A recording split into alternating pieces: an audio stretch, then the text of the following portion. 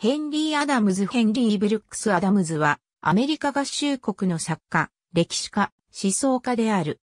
代表作は、第1に EN、The History of the United States of America 1801、1817、第2に、青年時代を過ごした19世紀と何もかもすべてが変わってしまった20世紀初頭をどのような辛酸を舐めつつ生き抜いたかを記録し、ピューリッツァー賞を受賞したヘンリー・アダムズの教育が挙げられる。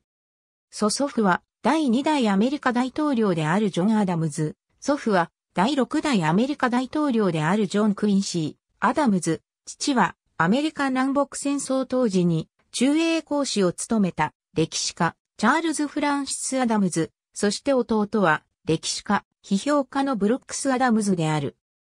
1858年に撮影されたハーバード大学の卒業写真ボストンに生まれ、ハーバード大学に入学。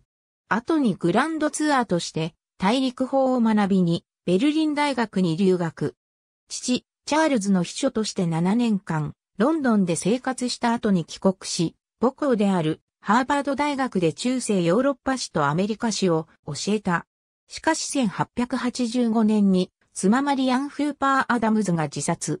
アダムズは講師を辞職し、世界各地を巡る旅行を行った。1904年に研究所であるモン・サン・ミシェルとシャルトルを出版。1918年にヘンリー・アダムズの教育を出版し、同年ワシントン DC にて脳卒中で死去。80歳であった。ありがとうございます。